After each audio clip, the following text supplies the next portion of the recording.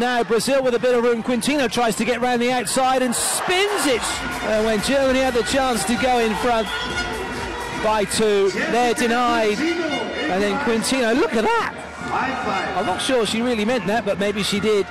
It looked like she's going to try and spin it around, but it stayed in her hand and she's put it over the top of Woltering. That is magnificent.